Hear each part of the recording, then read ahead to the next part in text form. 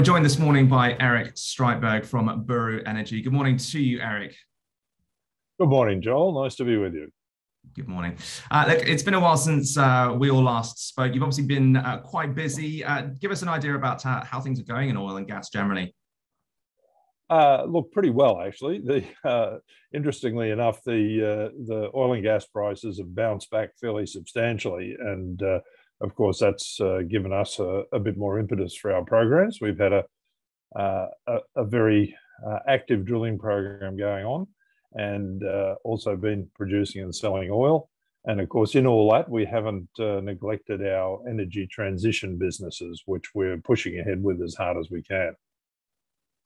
Yeah, oil price is definitely uh, very strong at the moment. Uh, it looks like you've just sold um, some cargo. Uh, tell us a bit more about that.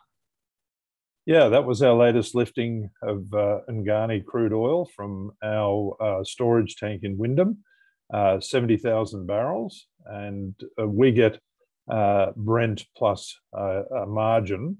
So uh, the pricing on that should be over ninety dollars a barrel, US ninety a barrel, and with where the Australian dollar is at the moment, we should get a check for somewhere over four million Aussie. So that's going to be a very welcome addition to the cash. Yeah, I imagine certainly. Uh, in terms of problems, though, I gather there have been a couple of hiccups there lately. Yeah, it wasn't all good news at Ungani, unfortunately. Uh, we were uh, drilling a horizontal development well called Ungani 8H, uh, and unfortunately, we got the drill string stuck, um, and we're having to sidetrack the well. Now, we're doing that uh, under a joint venture arrangement where our partner, our 50% partner, uh, Roc Oil, is actually going to sole risk that sidetrack and uh, we'll have an option to come back into the well uh, after it's completed. Now, you know, that's a normal joint venture arrangement. If one of the partners wants to do something and the other one, for whatever reason, doesn't uh, want to participate, there's a mechanism for uh, the, the willing participant, if you like, to go ahead and uh, finish that operation. So we're currently drilling that well um, uh, through the sidetrack, and it's going pretty much according to plan at the moment. So we'll we'll see what the results are. Uh, the, the, the program at the the Rafael well. Meanwhile, tell us a bit about how that's going. Yeah, well, look, just to refresh people's memories on Rafael, because uh, you know time moves on. Uh, we drilled that well uh, late last year, and we intersected uh, three uh, what looked like substantial gas columns.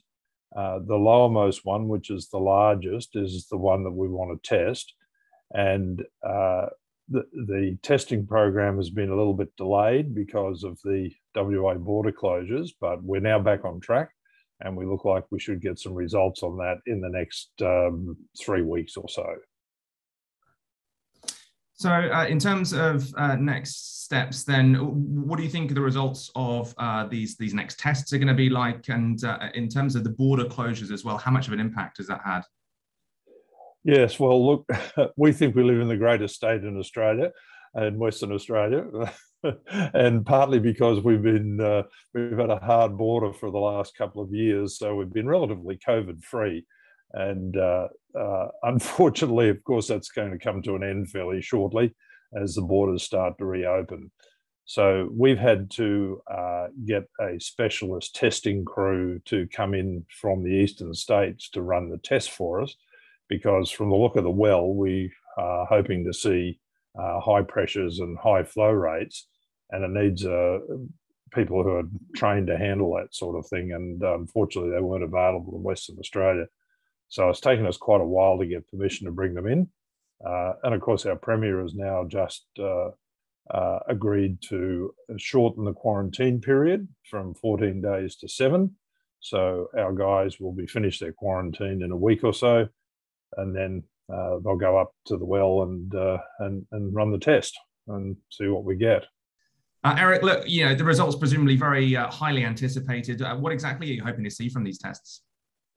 Yeah, well, the main reason for running the test is to uh, see what the flow rates in the well are, and in particular to get the gas composition, and that that's very important, obviously. from what we've seen from the the mud gas that we saw when we were drilling the well, uh, it's got low CO2 and uh, high liquids contents, which which makes it very valuable. And the, the other thing that's valuable, of course, is the pressure because we saw pressures up to 6,000 psi when we were drilling it. And uh, pre pressure is value basically because it helps you with all your downstream processing, etc. So what we need to do is confirm all those parameters, and that's that's what the test will be aimed at. To, to be clear, it's probably not going to tell us much about the size of the reservoir. Um, that really comes down to our to our mapping, uh, but it will give us a lot of confidence in relation to what the reservoir can deliver.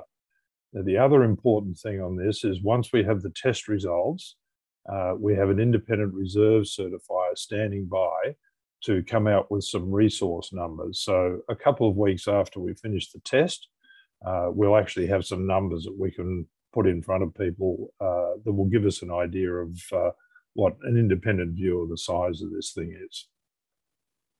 Great. All right. Well, look, we look forward to hearing uh, about those test results. And in the meantime, uh, uh, stay well.